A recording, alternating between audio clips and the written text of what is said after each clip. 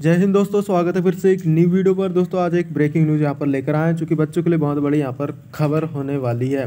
शीतकालीन अवकाश यहाँ पर डेट बढ़ा दी गई है। पंद्रह जनवरी तक यहाँ पर छुट्टी रहेगी। तो किस किस राज्य में कितनी छुट्टी रहेगी, ये कंप्लीट डिटेल से बात करेंगे और आप किस राज्य से नीचे कमेंट करके बताएँ, ताकि आपके राज्य की छुट्टी के बारे में अपडेट हम दे सकें।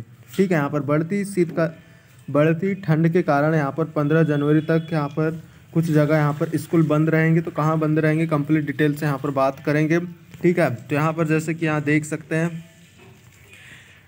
यहाँ पर बढ़ते कड़ाके की ठंड के चलते उत्तर प्रदेश के ज़्यादातर जिलों में स्कूल 31 दिसंबर से यहाँ पर जो है 14 जनवरी 2023 तक यहाँ पर बंद रहेंगे। हालाँकि यहाँ पर बात करें लखनऊ में तो 4 से 7 जनवरी तक स्कूल यहाँ पर बंद रहेंगे।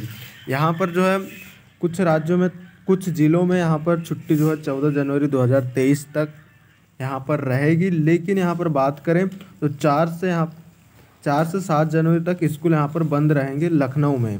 ठीक है? तो आपको यहाँ पर, आपको पता करते रहना है कॉलेज से। बाकी अदर ज़िलों में यहाँ पर जो है चौदह, यहाँ पर पंद्रह तारीख के यहाँ पर, पंद्रह तारीख को रविवार है तो यहाँ पर पंद्रह तारीख की भी छुट्टी रहेगी। इस प्रकार जो है पंद्रह जनवरी तक की आपके यहाँ पर उत्तर प्रदेश में छुट्टियाँ रहेंगी।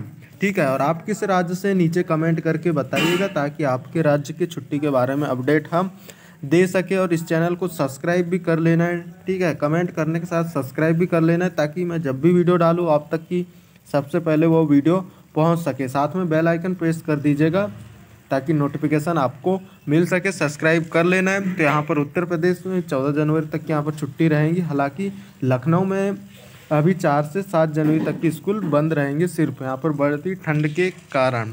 ठीक है? बाकी और अपडेट के लिए इस चैनल को सब्सक्राइब कर लीजिएगा, क्योंकि यहाँ पर ऐसी वीडियो हम डालते रहते हैं।